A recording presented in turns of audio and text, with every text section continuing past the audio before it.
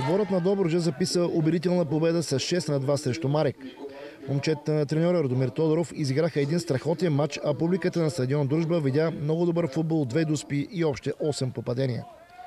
Първият удар към вратата на гостите отправи Стефан Статев, но топката мина край градата. В осмата минута Преслав Йорданов бе съборен в наказателното поле на гостите. Сам изпълни дуспата и откри голови актив за домакините. Четири минути по-късно Статев увеличи на 2 на 0. Марек успя да върне едно попадение след отсъдена дуспа, реализирана от Александър Башлиев. Добрата игра на Добружа през първите 45 минути продължи високо темпо и до края на полувремето се овенча с още две точни попадения.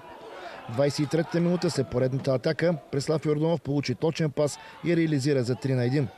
В 38-та пък Шериф Осман отправи мощен удар към вратата на гостите и вкара топката директно в мрежата на противника. След почивката добличли и продължиха с по-добрата си игра.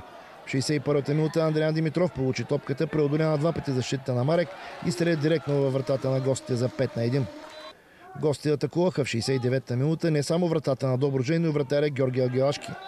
Играч на Дупница влезе остро с бутонките в тялото на стража, но за щастие без сериозни последствия за него. Малко по-късно в полза на гостите бе оцелен пряк свободен удар. Александър Близнаков отправи точен шут и намали на 2 на 5. Крайният резултат в 89-та минута оформи Раив Мурадов, като се отбеляза нелеп автогол. Така отборът на Доброжа отново се доближи до челните места, а Марек допусна най-тежкото си поражение през сезона.